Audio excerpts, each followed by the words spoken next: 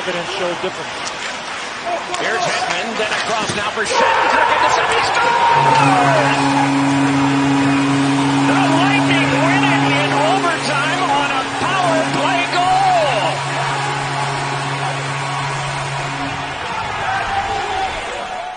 Hello guys, welcome back to my channel, Brian the Floridian. I'm back from the shave. Good to see you guys back. It is Saturday, September 26th, and today I'm very excited. My, uh, let me show you what I'm wearing. My Tampa Bay Lightning are playing for the Stanley Cup tonight at 8 o'clock, and I'm excited. I hope they're going to win. It's three games to one, so they have one more game to win before they actually win the Stanley Cup in a crazy shortened season. So, but anyway, guys, I'm going to do a shave, and I'm going to be using a new cream that I, actually not a new cream, but a cream I've had for a few months. I haven't tried yet, and this is from my friend, one of my friends from Southwest Wet Shavers. Uh, Jeffrey Iskel gave me this, and this is called the Holy Black uh, Shaving Cream, and it is a scented uh, spice and gunpowder cream. So definitely a different take on on shaving cream scent. And to me, it smells like a barbershop scent. Really, really kind of like that Old Spice type scent. I mean, I can smell a hint of gunpowder, but just a pleasant scent. But it looks like this. So it's been used before, but I haven't used it, so it's be my first time using it. And it's a soft cream, so I'm gonna be uh, face lining with it, with this cream for my shave today. And today I'm gonna be using my Karve Christopher Karve or Christopher Bradley Karve razor. This is the brass version, and this has the uh, I want to say the B plate. So I'm using the B plate. I have the C plate also, but I decided to go with the B plate because I'm going to be using my feather blade in it for the very first time. This is the first time I've ever used a feather blade in this razor. So I'm kind of curious to see how it performs with this much hair on my face. Um, I have about a day and a half of growth on my face, so didn't want to go too aggressive, but I figure at least try a lower setting and maybe try the feather blade in this razor. But this is a beautiful razor. I believe this is a three and a half uh, inch handle, but I've had this for about probably a couple years, and it's it's pretty pretty good fine shaver. And they I know they make a version now where they have a longer um, wide body head which covers the blade tabs. But I actually like the head on this one. I mean, I, I actually like to see the blade tabs hanging out a little bit. Um, to me, it gives a little bit of character, but just a cool looking razor. I love the knurling on this razor. Not too, not too aggressive knurling, but man, it's really nice knurling. Uh, so I'll be using this razor. And like I said, feather blade will be the uh, first time use in this in this razor. And the brush I'll be using is my my vintage restored uh, Rubberset 153. This is the uh, handle right here. And it has the Maggards uh, 24 millimeter uh, Timberwolf knot, synthetic knot. So just a fine knot for for for creams. So I'll be using this for my for my shave, and not a whole lot of backbone, but pretty decent. So this one, this is the brush I often use for creams, for any of my creams in my shaving den for shaving. So I'll be using this. I'm gonna use, be using this uh, brush, and like I said, a day and a half of growth on my face. And let me go ahead and rinse my face, guys, and wash my face, and I'll be right back for the shave. Alright guys, I'm back for my first pass, my first face other. So I put the cream in the in the uh, bristles here, uh, took a little dollop out of the uh, container, and no pre-shave, I just washed my face. So this will be just strictly uh, cream, no pre-shave shave. So let me go ahead and do that first face lather here.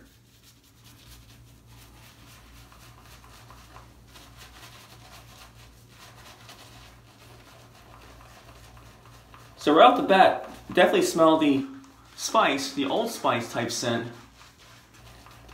Yeah, it smells like Old Spice. I don't smell much gunpowder in this, so I'm not sure where that plays into the scent, but uh, nevertheless a pleasant scent though. I can still, I still enjoy the scent on this cream so far. And it's not too heavy. It's, it's kind of a, light scent, so All right, a little bit underneath the stock track there, We clear it off. Kind of reminds me of my Soap Commander soap that has the Old Spice scent. I can't remember which one it is, but it's not Courage. I think it's uh,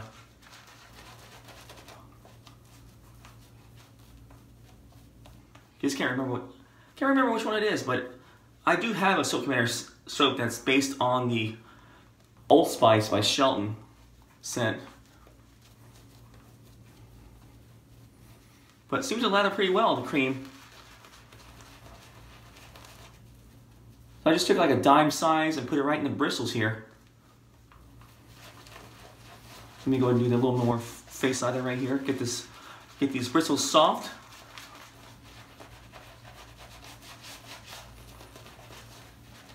Yeah, so I live I live in Tampa, so I live in Florida, Tampa Bay area, and even though it's been a crazy season today, uh, crazy year with everything that's going on, it's been great with sports. We got my my Tampa Bay Lightning uh, playing for the Stanley Cup against the Dallas Stars, and they are up three games to one, and they played a game last night, which they won. So that made it three to one, and they're playing another game back to back tonight, which hopefully will be the last game they play. And also, my Tampa Bay Rays are won the American League East this year in a pretty shortened season, 60 game season, but still they won against the likes of the New York Reds, uh, New York Yankees and the Boston Red Sox, which as you guys know, spend a lot of money, spend a lot on payroll for their teams, hoping that they would win. So they just basically spend all that money to hopefully win a title. And I'm sure it's probably it's probably very deflating to see the Rays, which has the lowest payroll, actually beat them for the American League East title and possibly the number one seed in the in the World Series uh, playoffs. So sports have been really good in Florida this year. And not to mention the fact that we have Tom Brady as quarterback of the Tampa Bay Buccaneers and Gronkowski and a lot of expectations this year. So, very excited about tonight. I am excited about the shave, excited about later on tonight to see what unfolds with this uh, hockey team that we have here in Tampa Bay. All right, so let me go ahead and do that first pass with the Karve, the B plate with the feather feather blade.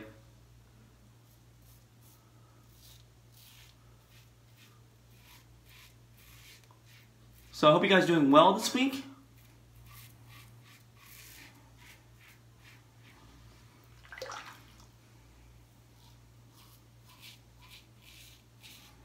Yeah, definitely a good combination. I can feel the I can feel that it's pretty efficient with this uh, razor blade in here.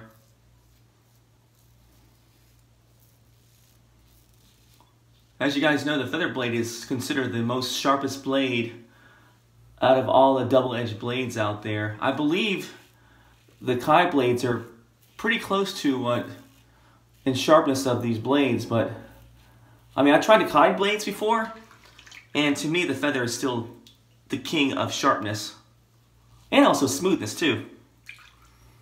And for a while, I was a, I was kind of, for a while, I was kind of uh, a little bit hesitant, hesitant about trying this blade out before, these feather blades, because of how, notoriously how sharp they were, and how a lot of people were shredding their face up with these blades. Not, you know, probably not, I imagine probably like a lot of new, new wet shavers that were trying to get into it for the very first time, probably picked up an aggressive razor and put a feather in there and had one shave and never went back. So, but to me, once I tried the first the first feather, I was hooked.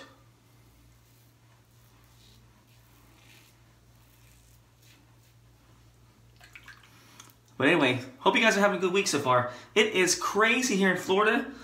We are going into phase three because phase three is is where they're opening everything up our governor DeSantis decided to go into phase three and open up uh, the restaurants to full capacity, all the bars, clubs,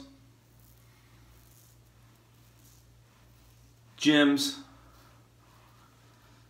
So I'm a little bit hesitant on that. I, am not sure. I have mixed feelings about that because I work in healthcare and I'm scared of seeing the spike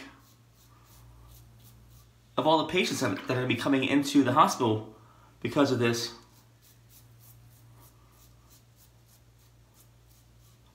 I mean, I'm happy about the business owners able to get back in business, but I'm also concerned about all the people getting sick and having a big, huge spike of COVID cases here in Florida.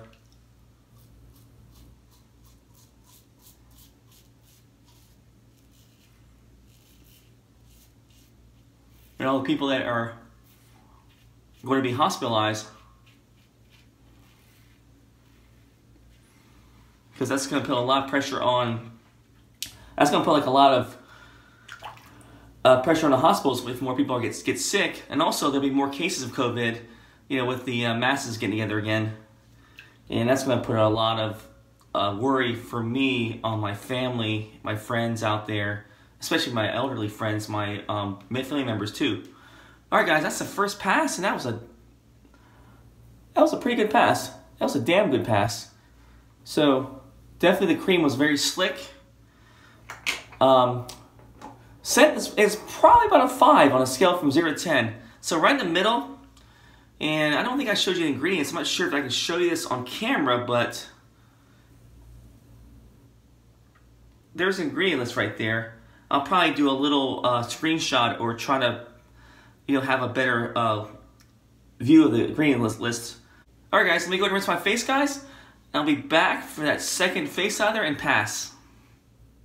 Alright guys, I'm back for my second face lather here. So hopefully there'll be enough lather in this brush for two more passes here.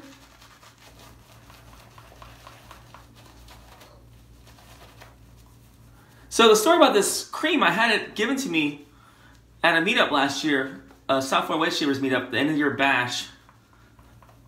I think it was last year. It might, it might have been like during the summer. What, what, well, one of the meetups last year from my uh, Facebook group, the Southwest Wet Shavers, either this, either the end of the year or the summer. But my friend, my uh, fellow member Jeffrey Isco gave me this cream to try, and I put it somewhere. I put it right in my closet, and I kind of forgot about it. I didn't find it for a while. And I just recently just came across the cream. Been meaning to try it. I actually looked for it a few months ago. I couldn't find it, but I must have fell. It kind of I think it fell behind a few things in my closet. It got kicked, you know, got put back in a different place. My, you know, probably my wife put it back in a different place where I found it again. But I'm so glad I found this cream because it's I've been meaning to try this out. And it's been out for a while, so but definitely has that Old Spice type scent. And like I said, I don't smell any gunpowder, mostly Old Spice. All right. I think I think that cream. You know what? It's bugging me. I don't know that that Soap Commander soap uh, with the Old Spice scent. I think it's I think it's called Soap Commander Endurance, if I'm not mistaken. So, all right, guys, let me go across the grain with the razor here with the uh, Karve.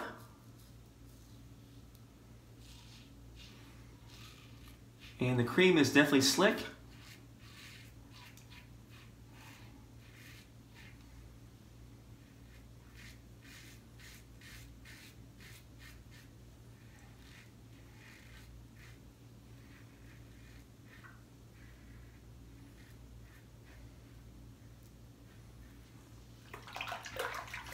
Yeah, I've been doing some straight razor shaves lately, um, trying to get better. My last video, I kind of took a little time off until I got back into it. So that was my first shave in two weeks of my last video with the straight razor. And I just got a mail call this week, which was a straight razor mail call, a vintage straight razor. That it happened to win off of eBay, so that was pretty cool.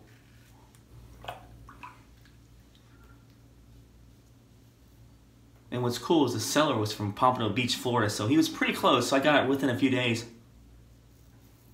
Yeah, this cream is pretty slick. Very little drag.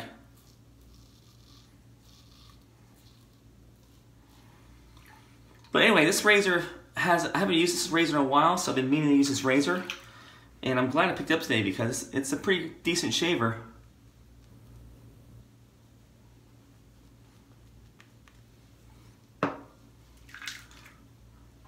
With this razor, probably one of my best razors I love using. I love using this and my RazoRock Game Changer, probably the most out of all my razors lately. I mean, I still use my 34C, which I love, which my which was my original first razor, or one of my original first razors that, that I actually loved using all the time. So.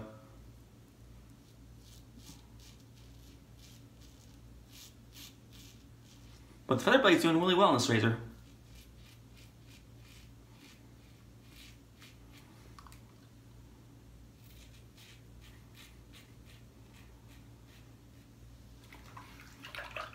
Yeah, nice shave. Man, that was a really nice shave. Nice pass.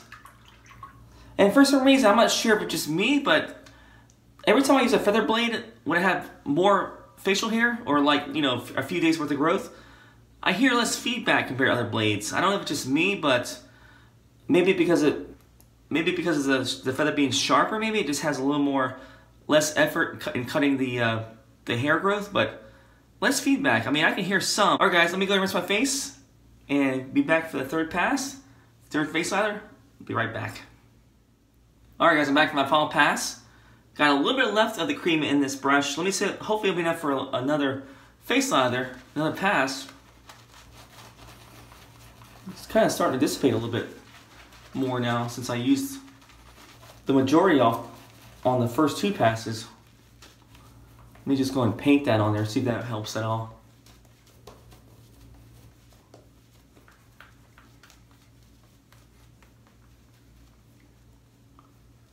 Yeah, unfortunately, they're not they're not having any fans for the Stanley Cup Final up in Canada because they've been playing in the bubble up there. I believe at the Rogers Center, but they've been playing up there in Canada for the majority of the playoffs. So there's no. It's kind of sad that there's no fans at the games, especially the home games for the Lightning here in Tampa. But there is a watch party down downtown because the arena's downtown. Amalie Amalie Arena where they play at is downtown, and they have a big area actually where they broadcast the uh, away games on the sta- on the side of the stadium. Actually, it's actually on the side of a parking lot, and they call it Thunder Alley. It's kind of like where you walk into the when you're on your, on your way to the arena.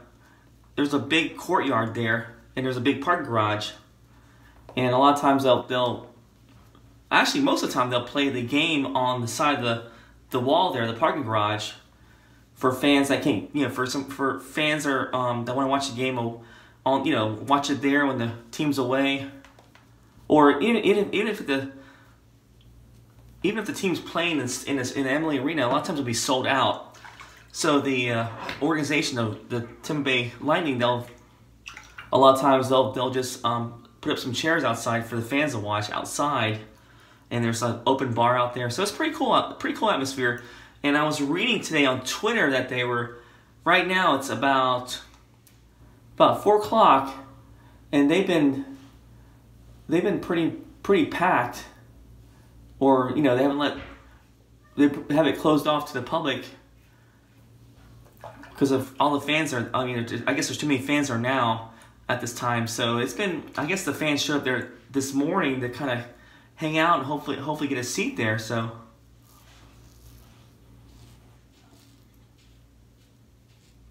So it's kind of like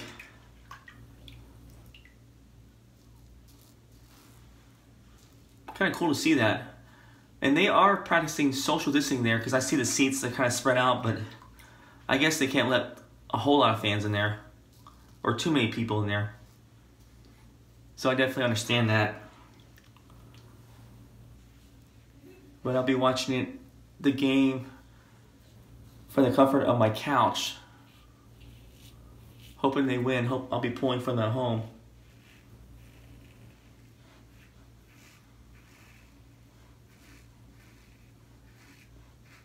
So, what do you guys think about sports this year? Are you are you guys kind of into sports this year with the uh, COVID nineteen thing going on? With everything's going on now, without new fans. To me, I'm kind of happy they're at least having it on TV and and bringing a sense of normalcy at least to the current situation. But I'm so glad that they're playing, and I'm, I'm glad my teams are doing well right now, even though it's a shortened season.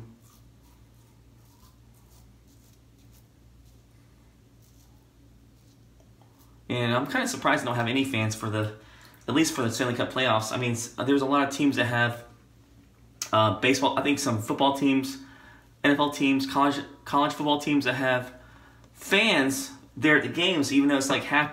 I think it's half capacity, or maybe 25, or I'm not sure what the what the rules are when they have fans, but I'm surprised that hockey hasn't allowed that this year for you know for the Stanley Cup final because there's no fans there at all.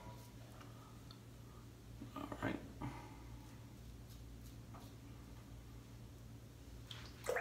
But enough of me jibber jabbing. That was a pretty good shave, and yeah, definitely smooth.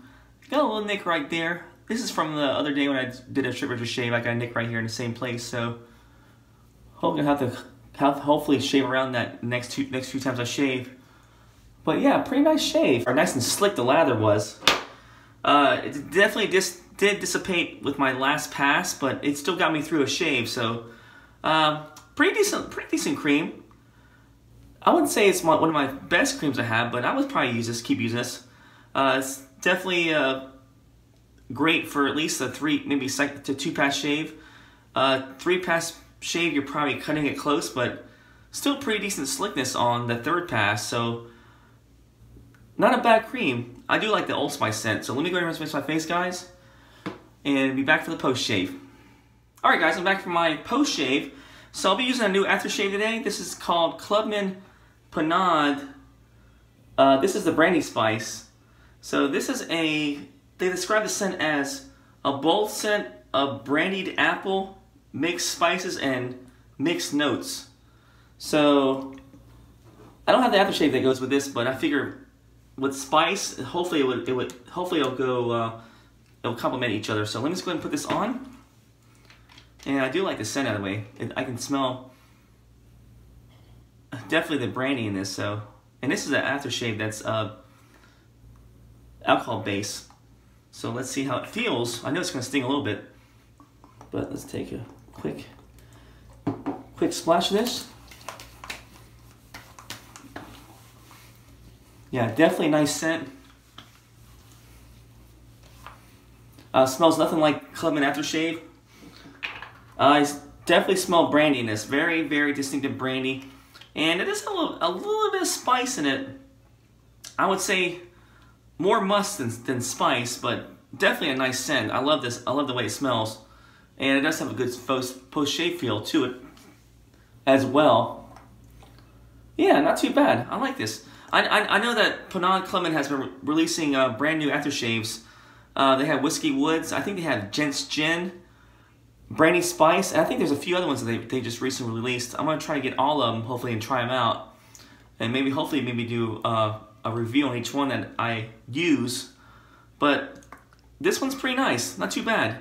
And not too expensive either. I think I paid maybe around, I'd say maybe eight bucks for this and that was off Amazon, so pretty decent price for aftershave, and it's about uh, six ounces, so decent value, by the way. But anyway, that's my shave, guys. So I used the Holy Black Gunpowder and Spice shaving cream. Uh, thank you, Jeffrey Eskel, for letting me have this great cream. I'm gonna be using this uh, pretty frequently in the future. I do love the way I do love the slickness on this cream.